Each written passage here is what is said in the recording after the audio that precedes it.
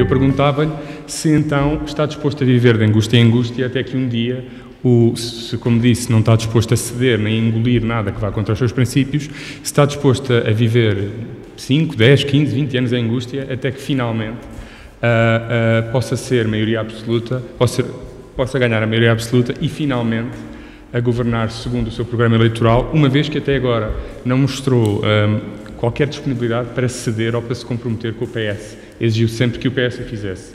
Estava disposto, na realidade, a ceder em alguma coisa para viabilizar um governo de esquerda ou não? Bom, eu, João, agradeço-lhe hum, a pergunta. Aliás, vai-me permitir mas eu tenho uma má notícia para si, é que o Pacheco Pereira acabou de ser apresentado como cabeça de lista por Santarém, concorrente consigo, visto que o João Galamba é candidato para as listas do PS, terá o Pacheco Pereira do outro lado, enfim, e lá estaremos na batalha. Haverá é um candidato do Bloco de Esquerda. ponto contra ponto, pode ser que aconteça. Muito bem, com certeza, portanto, enfim. Um, mas queria lhe dar esta notícia porque acho que vai animar a sua tarde. Um, essa ideia do ceder, eu não sei muito bem o que é que quer dizer porque acho que de cedências e de faltas de coerência ou de faltas de preocupação com a coerência o país está muito farto. Sabe, fazem-me sempre essa pergunta. Em todas as entrevistas me fazem essa pergunta. É natural, é uma pergunta É naturalíssimo. Óbvia. Não, não, é naturalíssimo, com certeza que sim. Bom, e vindo de alguém que defende o PS é mais natural ainda, porque quer saber se consegue aqui alguma cedência ou algum roteiro para a cedência. Acho naturalíssimo que assim seja. Mas eu creio que isso preocupa muito menos o país.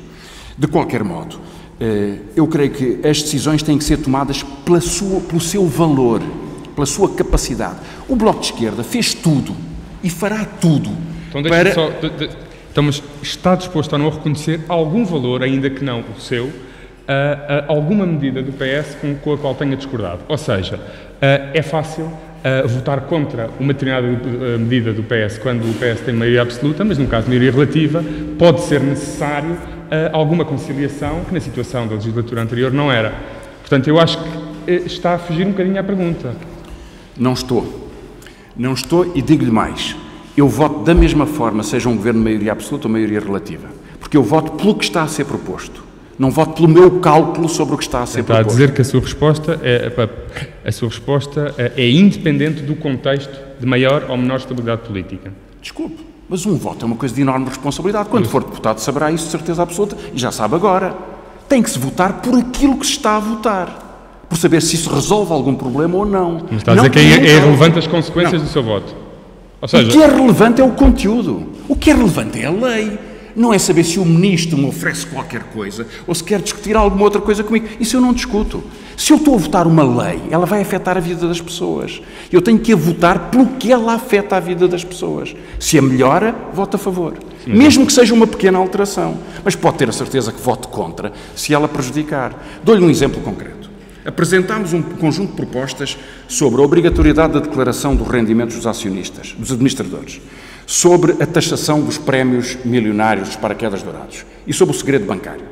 O PS votou a favor no agendamento legislativo. Um deputado do PS votou contra, todos votaram a favor.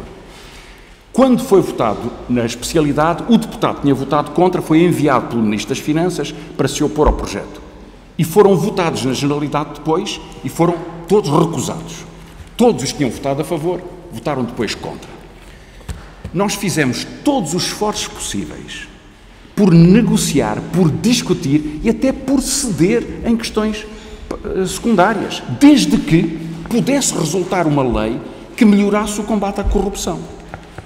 Que fosse dado um pequenino passo que fosse. Assim seria. E outras propostas. Dou-lhe um exemplo. Eu votei a favor do complemento solidário para idosos, apesar de achar que o seu regulamento era errado. Mas votei a favor, porque o princípio avançava. Era uma ótima medida. E é uma ótima medida. Infelizmente, tem mecanismos que eu acho errados. Um dos quais, curiosamente, já que falamos da Manuela Ferreira Leite e dos ricos, é obrigar aos pobres, complemento solidário de idosos, pessoas que têm menos de 400 euros, a fazerem o acesso às suas contas bancárias. O único setor social em Portugal, com José Sócrates, que tem a obrigação de dar toda a informação sobre todas as contas bancárias, são os pobres. Nenhum outro. Nenhum outro setor social tem até essa obrigação. E, portanto, eu achei essa, esses, esses dispositivos errados. Mas o princípio era bom. e por isso votei a favor. Assim faremos, assim faremos. Agora, não nos digam é que um governo que quer eh, atacar a crise não encontra políticas que possam fazer maioria. Claro que sim. Não são é aquelas que o Partido Socialista tem proposto. E lamento muito, eu tenho o programa do Partido Socialista e vejo o que aqui está. E vejo o que aqui posso está. só fazer uma pergunta aqui sobre o, seu, sobre o vosso. Uh, aqui no, no, no, capítulo dedicado à economia, economia contra o pântano da crise, uh, as primeiras linhas falam sobretudo de políticas redistributivas, com as quais, com algumas diferenças, eu tendo a concordar. E acho que, por exemplo, aí podia haver, pelo menos da minha parte, uh, algum, alguma ponte e alguma aproximação entre os dois partidos. Agora, uma das coisas que me preocupa no vosso o que, que eu não entendo no, no, no, no, vosso programa é que parece que há uma desvalorização completa da sustentabilidade das vossas medidas redistributivas. Uh, eu não percebo como é que uh, o, a única medida que, que, aqui tem sobre crescimento económico é a aposta na reabilitação urbana. Parece-me manifestamente insuficiente, dada a magnitude da, da, das medidas que propõem, como em relação à parte dedicada aos recibos verdes, à precariedade, o aumento do salário mínimo. Uh, Acha que o Bloco fez um, contas realistas sobre a sustentabilidade de tudo isto? E uh, qual é uh, o, um, o, crescimento mínimo que, que, a economia portuguesa tem que, tem que ter para que as, as vossas medidas sejam sustentáveis? Fizemos contas. E, aliás, se comparar as nossas propostas com as propostas do PS, verificará que há uma diferença. É que as nossas têm um efeito imediato e procuram ter um efeito imediato. As propostas mais centrais do Partido Socialista têm um efeito diferido no tempo.